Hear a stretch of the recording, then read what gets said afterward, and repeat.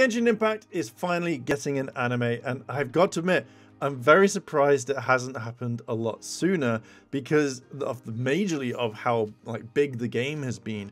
And I was generally like kind of wondering why. But obviously right now, after the kind of recent, I think 3.1 stream that's been kind of dropped, Genshin, Genshin Impact is finally having an anime. And I don't know many of the anime studios whatsoever. I get told like, oh, this studio does this and this studio does that. But I think how you, you mention it is called Ufotable or Photable. Um, I apologize if I got that wrong. It's a very, I, I, I don't know studios' names that well, but I was generally kind of impressed of the um, the the kind of animation that we've seen so far. Although I think that because it's kind of a trailer, they're not going to do too much. But when I was kind of watching the trailer myself, I was like, oh, that's it, it looked a bit kind of like, oh, we're just seeing the area. And obviously, I don't think that this is Mondstadt. I don't think it's anything. I think this is Celestia. I think this is basically an introduction to the Traveler, as well as obviously the Traveler's sister or Traveler's brother, whichever you really want to go there. Basically, Aethia and Lumine. Lumine, and I kind of like you see Paimon there, and obviously these three are like the kind of biggest characters that you see within Genshin at the very beginning because they're the main ones that you play, and obviously Paimon uh, comes in and flies around. But I generally kind of think that this is going to be a fantastic anime. I am very much looking forward to it. And as you can see, generally, the animation looks beautiful. So if you're like me and you don't know the studios that's in this, first of all, right here, we can see that they do Demon Slayer, they do Fate Zero, um, they've done quite a few, and now I've not really gone all the way back. Well, I kind of have, but kind of seeing these sorts of animations, like I know I've heard of most of these, but I've never actually sat down and watched it. But I kind of really want to sit down now and kind of go through some of them so I can kind of get a gist of the sort of animation style that we're going to get. I know Demon Slayer is absolutely kind of fantastic for, for what it is. So I kind of really want to know, oh, I really like this. I, I know I'm going to enjoy the animation. I'm just kind of really excited. So ju jumping over to IGN, they've just said Genshin Impact is officially becoming an anime as developer. HoYoverse has announced a new collaboration with anime, anime bleh, animation studio um, Ufotable Again, probably got that wrong. Announced during the game's 3.1 special program, a three minute concept trailer was later shared on the Genshin Impact Twitter below, showed off the art style and feel of what the anime will eventually be. Genshin is this just a, uh, given that this is just a concept trailer, it will most likely take some time before the final episodes are released, and HoYoverse have branded this as a long term project. Um, so pretty much, I'm not going to kind of really go into what they've all said.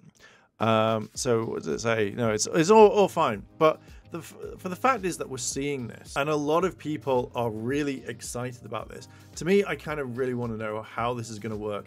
Is it going to be the main main characters? Because the way that I kind of see it, and I think this, if this is not like a prequel to how we see um, the characters interact from Aethia as well, or Aether as well as Lumine, is it going to focus on one? Is it going to focus maybe on two? Have they split up?